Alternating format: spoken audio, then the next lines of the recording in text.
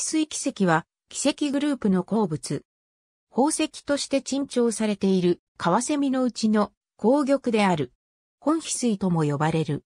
ナトリウムとアルミニウムを含む単射奇跡で化学組成はノール C2O6 である。AL が FE3 に置換したものがエジリン奇跡、CR3 に置換したものがコスモクロア奇跡。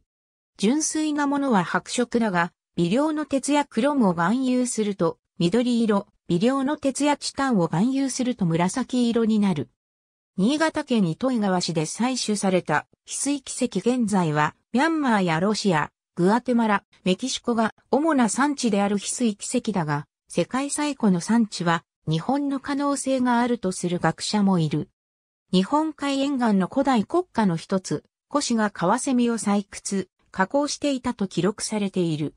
しかしながら、なぜか、弥生時代から、カワセミはいつしか採掘されなくなり、交渉も放置された。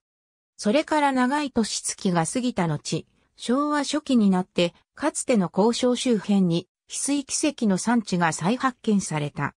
翡翠と呼ばれているものの歴史は古く、中でも中国の歴史では、和田玉のような国産ネフライトで希少価値が高いものが工芸品として広く使われ、ビルマ産のジェダイトはさらに珍重されてきた。日本では、翡翠は、ジェダイトとしてよく名前を知られている宝石ではあるが、本翡翠は産出量が極めて少ないため高価で取引されている。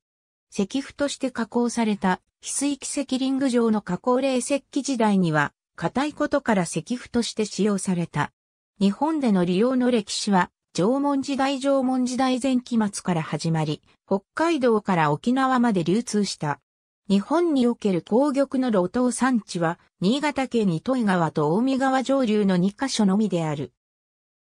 富山県境の境縁遺跡は、鉱玉原石の集産地であり、加工を行っていた拠点集落で数千点にも及ぶ原石、加工途中の未製品が出土している。完成品は交易でよそへ運ばれたらしくあまり出土していない。ありがとうございます。